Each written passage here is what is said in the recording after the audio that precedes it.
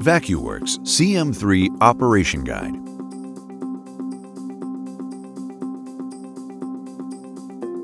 Connect the skid steer or track loader to the mounting assembly. Making sure the lock levers are fully engaged. Connect the three hydraulic hoses to the skid steer using the supplied quick connects. Position the hydraulic hoses using the attached magnets so they do not interfere with the operation of the skid steer.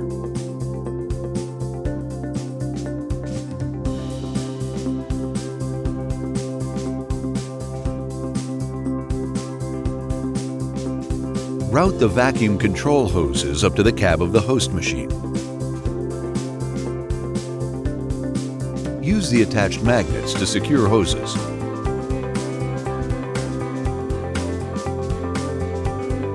Connect hoses to the control box and mount the controller to the metal surface inside cab with attached magnets.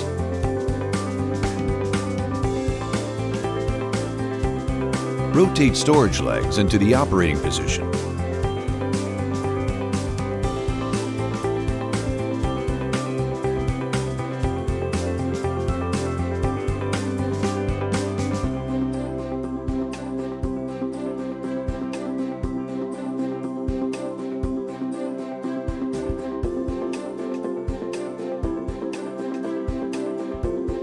And then lift and place the pad onto the material to be lifted, making sure it is positioned as close to the center as possible to keep the load balanced.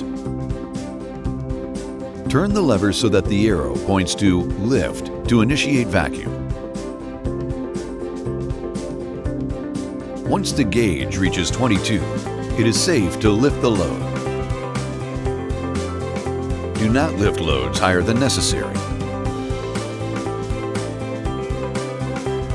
Always keep loads close to the ground when possible.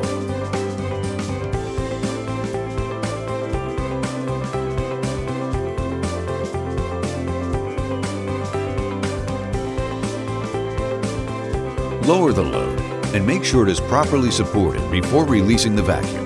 To release the vacuum from the load, turn the lever so that the arrow points to Release. Once the vacuum gauge reads zero, the pad can be removed from the object it was lifting.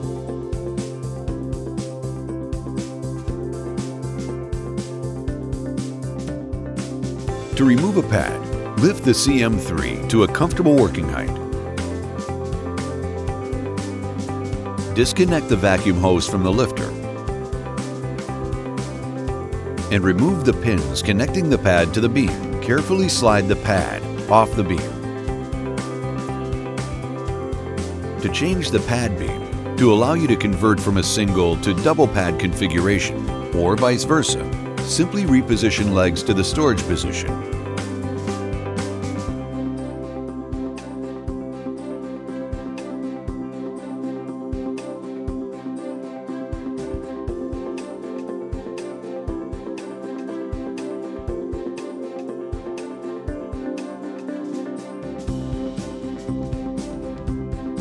And lower the CM3 to the ground. Remove the pins connecting the beam to the lifter.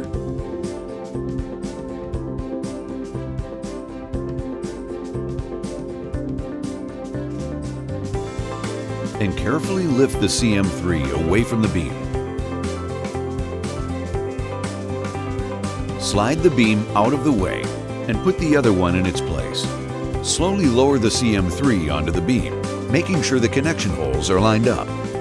Or, with the CM3 positioned at a comfortable working height, lift the beam into place and reinsert the pins to connect the beam to the lifter.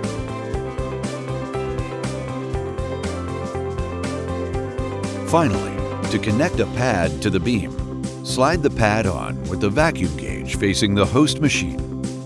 Line up the holes on the pad to the center of the beam and insert pins to connect the pad.